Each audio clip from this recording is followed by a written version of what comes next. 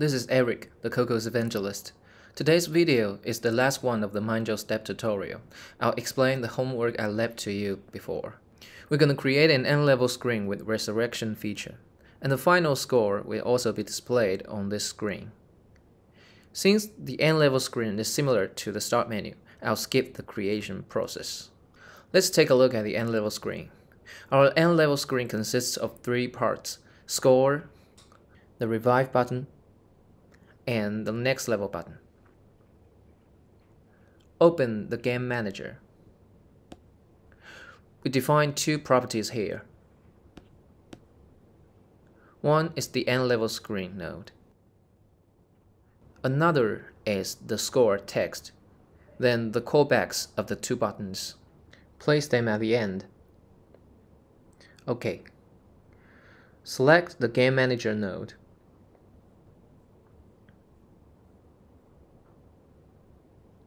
Modify the callbacks of the two buttons.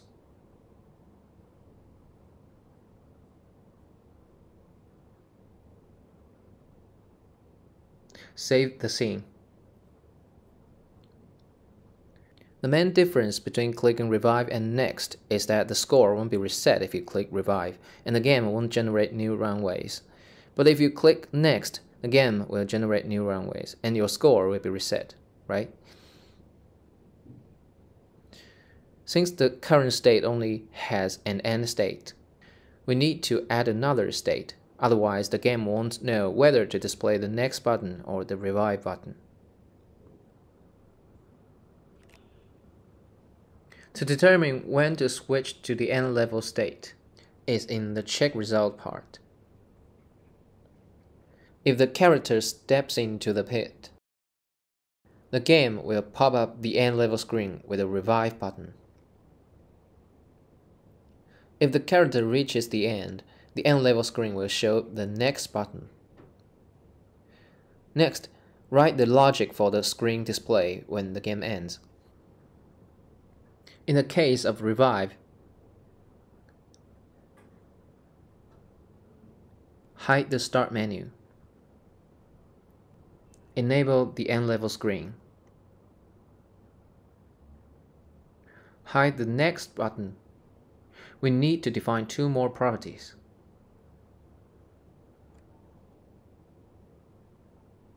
The next button and the revive button.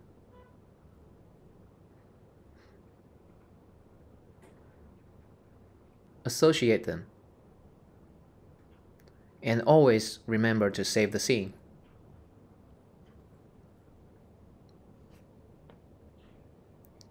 Before clicking the revive button, the player is not allowed to control the character. Then call the revive function in the resurrection screen. In the case of next, similarly, define a function Actually, its logic is almost the same with the initialization state. Only the screens are different. So we can copy the content in, init and paste here. Hide the start menu. Display the end level screen. Then the two buttons. Display the next button. Hide the revive button. In this case, the road should be regenerated. The start menu should be hidden. The end level screen should be displayed. Also, stop the player from controlling the game. Reset the position and the score. We should also close the end level screen in the initialization state.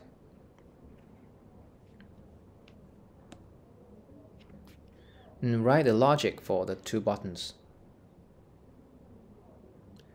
The name of the two buttons should better have the same format with the play button on the start menu.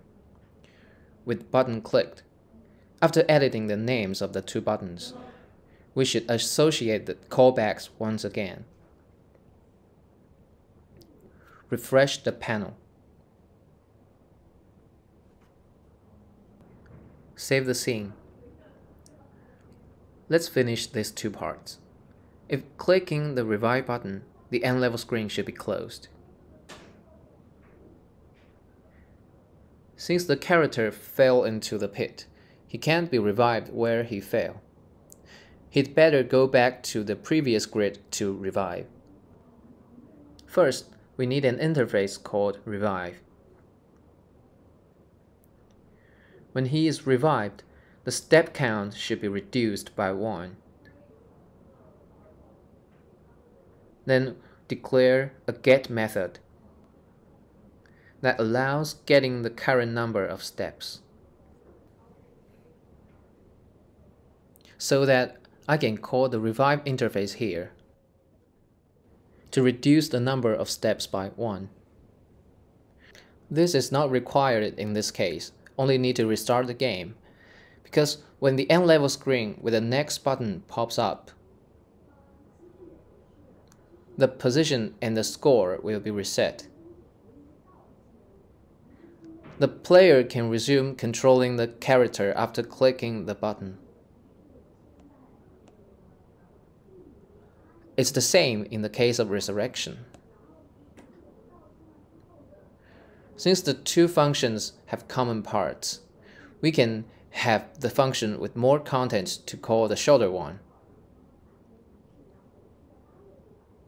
After finishing the two functions, we need to add the score part.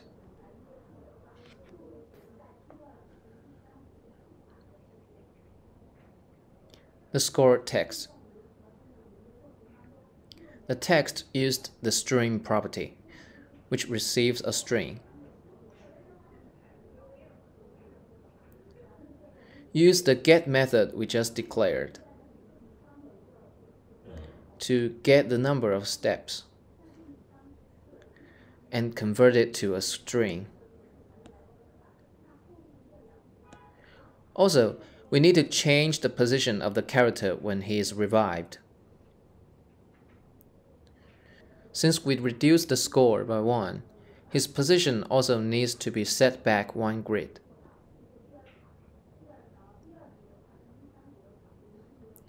Or maybe let him step back when clicking the revive button. Even better. Okay, let's take a look.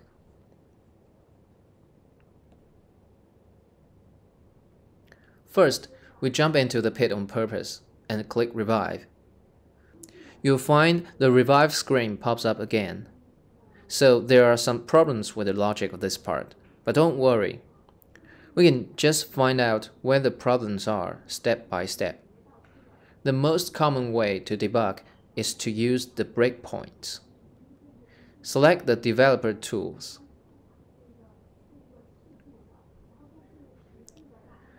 We can find the problems here using breakpoints. Press Command or Control and P to open the script search box to search the Game Manager script we can tell that the problems should be in Game Manager according to what happened. So open the Game Manager. We can set a breakpoint where the revive button is clicked.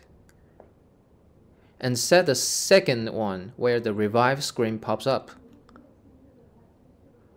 Here. Then click revive again. The purpose of the breakpoint is to stop the script from continuing when it reaches this block of code, thus leaving it to the user to control the script's operation. Next, take a look at the four buttons commonly used for breakpoint debugging. The first one is Resume Script Execution. Because the script will stop where the breakpoint is set, you can click this button if you want the script to continue to execute. The second button can step over the next function call. Well, the third button can step into the next function call. The fourth button can step out of the current function. You can use it to execute the rest of the code of the function in one go. Let's have a try.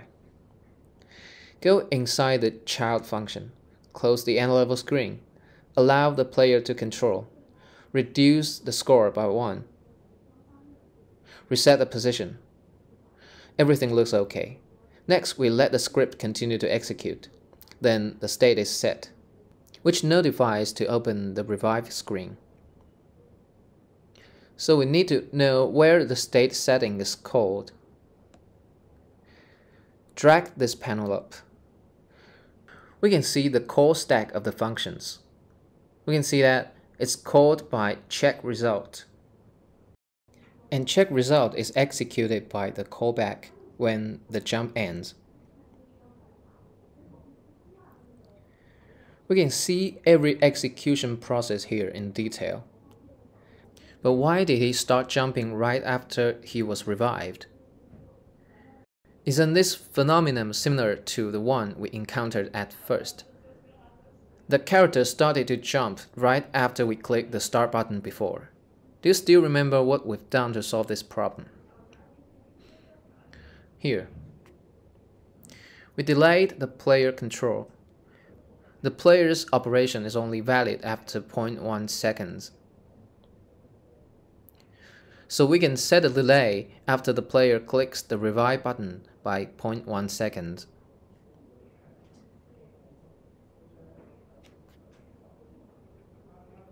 Let's see the result. Revive. Now it's okay. And we still need to test if there are any bugs when the character reaches the end.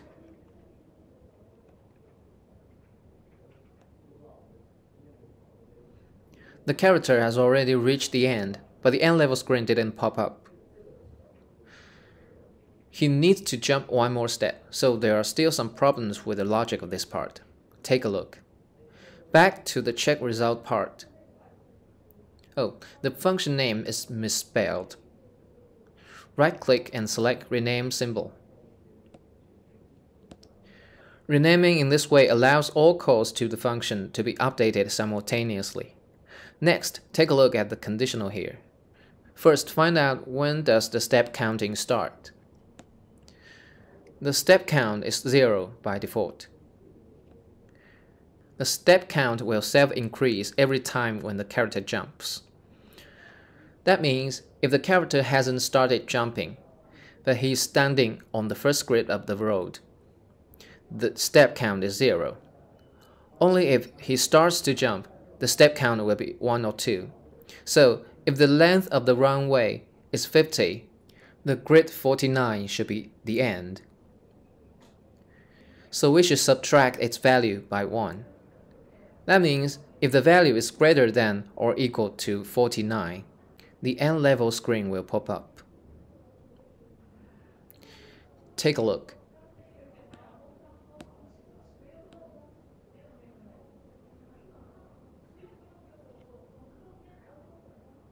looks okay. But the score is wrong. In this case, I shouldn't use the current step count, but the length of the runway instead as the score. Okay. You may feel strange that the character suddenly went back to the initial position. That's because we don't have the loading screen, causing the data to be reset before the player has ever clicked the button. If we create a loading screen, the game won't look so abrupt. But our game is just a demo, so we don't need that much detail. Just make sure the whole logic runs smoothly. Now the game is almost done, but the graphics looks a bit monotonous. So we can rotate the sky model a little to make the scene more vivid.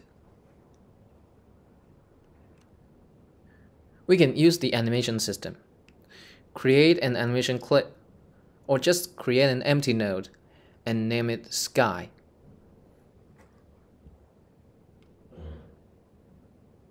Then animate the sky node. Add animation component. Create an animation clip.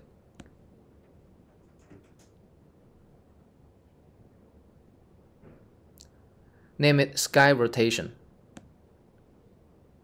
Next, add the animation property.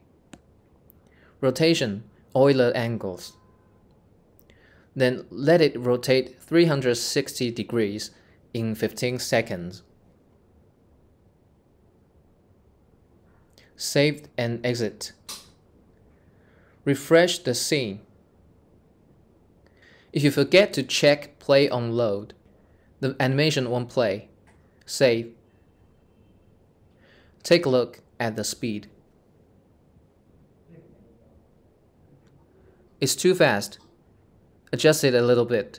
Since the animation editor currently has a limitation on wide range of time adjustment, you need to remove the keyframe.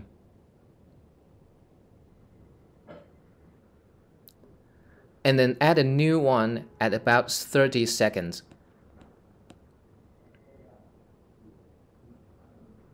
Save. Now the speed is okay. Much better. If you're still not satisfied, you can do more adjustments according to your needs. That's all for the Mind Your Step tutorial. Please remember to subscribe. See you soon.